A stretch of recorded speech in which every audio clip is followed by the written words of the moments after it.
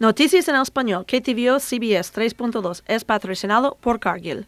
Con las noticias y el tiempo a través del corazón del país. Este es KTVO CBS 3.2 Noticias en español. Buenas noches, soy Nancy Cruz. Gracias por dejarnos entrar en sus hogares. Comenzamos con la primera noticia. Los oficiales de bomberos siguen investigando la causa del fuego que ocurrió anoche en Fairfield. Más de 50 bomberos respondieron anoche a un incendio en un edificio donde ocho familias vivían. La Cruz Roja, que está en Atamwa, respondió para ayudar a las víctimas del incendio, especialmente con las condiciones de anoche. Tenemos más información sobre el incendio en nuestro web heartlineconnection.com. Después de una breve persecución, la policía ha detenido a un sospechoso, Mark Weston Clark, de Tamwa. Está acusado de atropellar y fugarse. Hoy por la tarde, Clark tuvo un accidente en la intersección de la carretera 63 y la carretera 34. Después del accidente, Clark huyó. Luego la policía lo arrestó en la esquina de la calle de 4 y la calle de Market por el centro. Clark está detenido en la cárcel del condado de Wapello.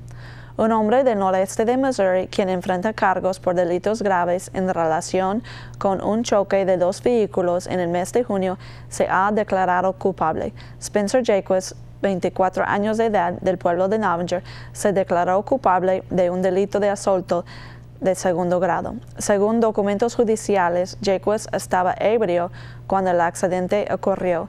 Jacques está programado para ser sentenciado en diciembre. La Cámara de Comercio de Tamwa ya ha prendido las luces decorativas en el parque de Tamwa por la primera vez esta temporada.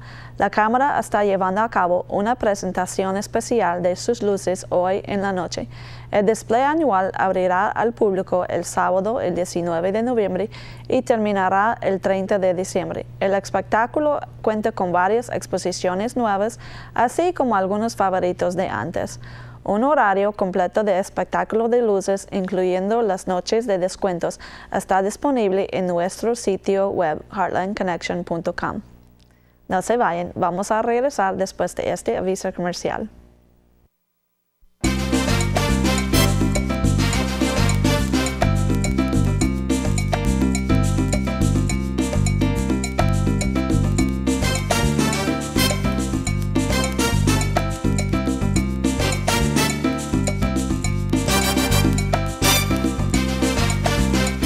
Hola amigos. Hola, buenas tardes, bienvenidos. ¿Cuántos son? ¿Qué? Por aquí, por favor. Los invitamos a que vengan a comer a Los Cimadores, el mejor restaurante mexicano familiar en Otama.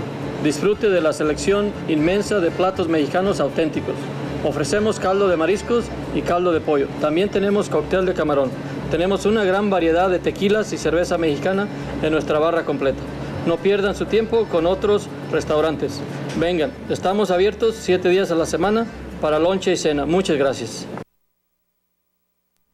Muy buenas noches, soy meteoróloga Vanessa Alonso mirando para nuestra bienes. Vamos a tener sol y brisa. Para esta noche vamos a tener cielos claros con brisas, con los vientos va a ser oeste 10 a 15 millas por hora. Pero mira cómo va a ser las temperaturas, va a ser 30 grados. Eso va a ser muy diferente de las temperaturas que bajó anoche a 18 grados. Y mañana por la mañana a las 7 para tu viernes vamos a tener sol con 33 grados a las 7 de la mañana, subiendo a 46 grados con sol a las 10. Mirando para nuestra bienes, vamos a tener un sistema que está al norte de nosotros, pero al sur de nosotros vamos a tener su más aire, más cálido llegando a Iowa y Missouri, que van a ayudar a subir las temperaturas. So para nuestra bienes vamos a tener cielos solidados, pero si va a ser brisa con los vientos van a ser oeste 15 a 20 25 millas por hora, subiendo casi a 40. La temperatura va a ser más cálida con los vientos, con una temperatura alta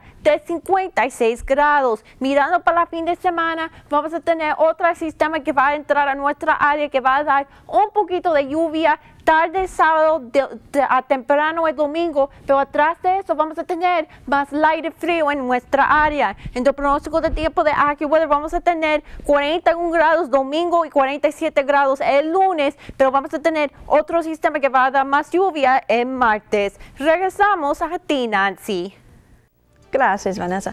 Muchas gracias a todos. Estamos aquí con las noticias en español lunes a viernes a las 10 pm. Muy buenas noches.